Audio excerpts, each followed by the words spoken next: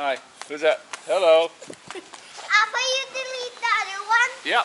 Okay, we're going for a little walk here. Uh, we got a cloudy and very windy day. I don't have my little microphone with the fuzzy muff, so we'll see how the internal mic of the, the Sony does. So we'll see. Might be a little bit windy. I'm not sure yet. Well, I'll look at it. Maybe make another one if it's too bad. Just walking up to the store, and uh, we had a little problem in the house. It's been cool. It's, it's been very cool uh, here. Uh, we haven't been needing anything. We, we do run fans at night. I got the big fan on the wall. It's like a super fan. Uh, that's basically to keep the mosquitoes from landing on you and biting you. you know, not to not to keep you cool. It's been so cool here. Uh, the mornings, I mean, we're, we got blankets on us. You know, we're, we're using uh, heavy blankets right now. So that's how it's going here. And then during the day when the sun is blazing, yeah, we're at a hot spot. It's really, it's really cool, pretty good.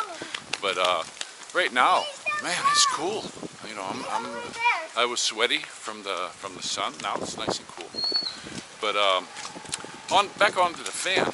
Uh, in my country, when I was young, if I bought a, like a window fan, one of them big old box window fans you get cheap, and it broke, you throw it out.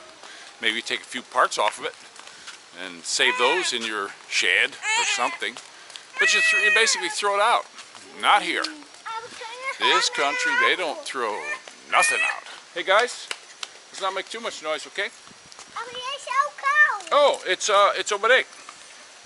So, I hope somebody don't steal our car. I don't think they're going to steal our car. She's gonna get him. No, I don't think so. She's But gonna get they- our car. All right, let me finish the video. So, but they they fix everything here. Uh, if you have something that's broke, uh, okay, go fix it. We had uh, we had a couple fans uh, when we moved into this house that were shot. 500 pesos fixed them both. You know, and the guy he, he fixed them. He's a little fan dude, and I, I think you know that's uh, 500 pesos. That's like 10 bucks to fix two fans that were, you know, originally. Uh, my goodness, I think the one fan was 2,500 and the other one was 1,800, something like that. So, you know, they fix them pretty cheap and they're running good. They're, they're no problem with them at all. Uh, now we got another one that we bought. Uh, my wife, she got mad at me because I bought this one that had metal blades, not plastic. Oh, energy, grabbing energy. But lasted us, we had this thing for about six years or so. It's been working good. And, and now won't start. So we're gonna we're gonna be taking it up to the dude, you know, the fan dude. It's uh, somebody, one of her friends she knows. It's her friend's father. So we, you know, we can't go to the one right up the street here. You know, I got to go spend a bunch of gas to go all the way to the father, the friend's father. You know, that's that's what's the only thing bad about here in the Philippines when you get a, a mate. They want you to use their people. I'd rather go right. There's a guy right up the street, a fan dude. I'd rather take it right up to him. How much to fix this? You know, boom, end of story.